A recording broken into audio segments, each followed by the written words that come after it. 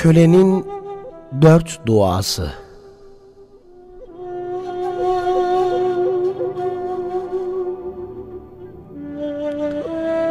Yesrib şehrinde bir adam kavminin ileri gelenlerini topladı.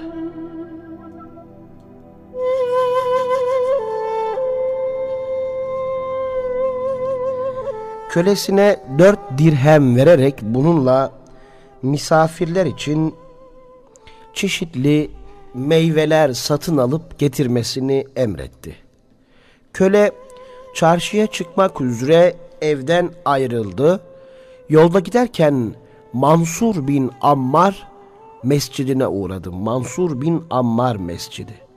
Orada Allah dostlarından Mansur'u ziyaret edip onun duasını almak istedi. Mescide girdiğinde sevgili kardeşlerim gördü ki Mansur bir fakire vermek üzere bir şeyler istiyordu. Kim bu yoksula dört dirhem verirse ona dört duada bulunacağım diyordu.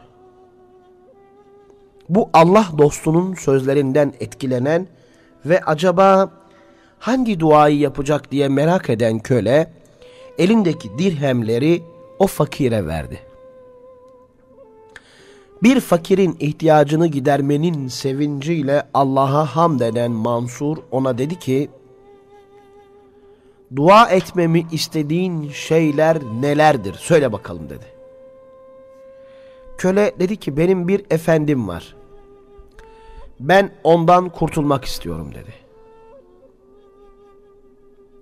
Mansur bunun için dua etti. Sonra dua etmemi istediğin diğer şey nedir dedi. Köle Allah'ın dirhemlerimi yerine koyması için dua edin dedi. Mansur bunun için de dua etti.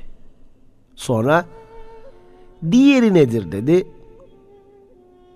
Köle efendimin Allah'a tevbe etmesini istiyorum.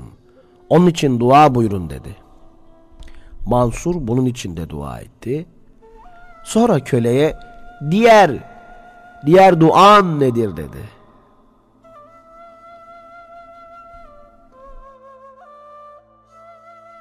Allahu Teala'nın beni, efendimi, seni ve kavmin adamlarını bağışlamasını istiyorum dedi. Mansur bunun için de dua etti. Dört konuda Mansur'un duasını aldıktan sonra köle oradan ayrılarak çıkıp gitti. Eve döndüğünde efendisi ona niçin geciktin diye sordu.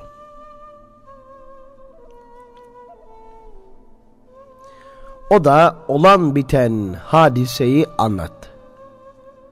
Efendisi ona hangi konularda dua istedin dedi. Köle dedi ki ben kendimin azatlığını istedim.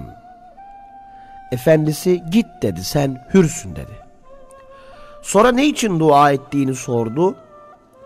Köle Allah'ın dirhemleri yerine koymasını istiyorum dedim. Bunun için de dua etti.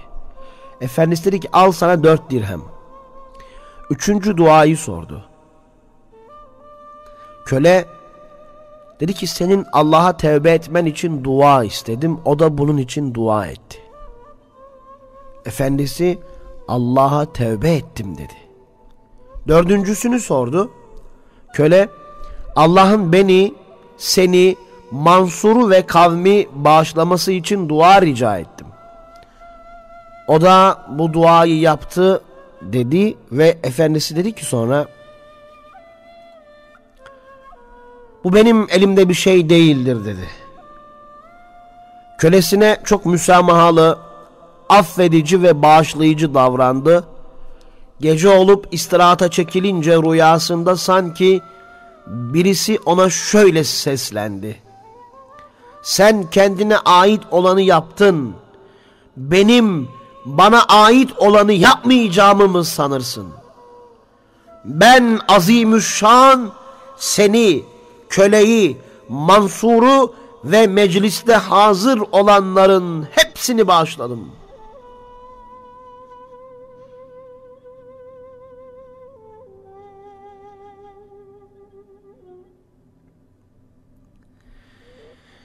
İnsan kendi üzerine düşeni yapar. Allah yolunda fedakarlığını gösterirse, onun gayretini, fedakarlığını ve sadakatini gören Allah Celle Celaluhu kulunu engin merhameti içine alıverir. Ona yaptığından daha fazlasını verir. Çünkü o ekramul ekremindir. Cömertlerin en cömertidir. Kuluna ikram etmeyi sever. İkram ve ihsanı, af ve mağfireti boldur. O Erhamur Rahimindir. Merhametlilerin en merhametlisidir. Kuluna merhamet eder, kulunu sever ve affeder. Kulunun günahlarını, hatalarını setreder. Kulunu hifz eder, muhafaza eder. Kulunu mağfiret eder. Yeter ki kul kulluk yapsın. Yeter ki kul kul olsun. Kulluğunda daim olsun. Samimi olsun. Allahu Teala diyor ki Resulüm kullarıma benim çok bağışlayıcı ve pek esirgeyici olduğumu haber ver. Hicr suresi 49. Kul içten gelerek hakiki kulluk yapabilir. İnsanları sevip hoş görebilir ve onları affedebilir ise Rabbimizin engin rahmetine ve mağfiretine kavuşur. İnsanoğlu dünyadayken Allah'ın kullarını affedip bağışladıkça asıl kendisi zor günde, mahşer gününde bağışlanmayı hak etmiş olur. Çünkü insan affede affede affa layık hale gelir.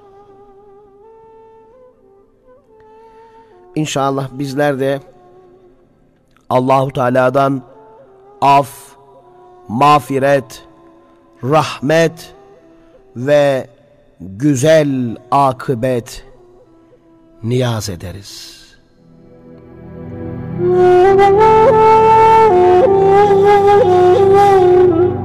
Altyazı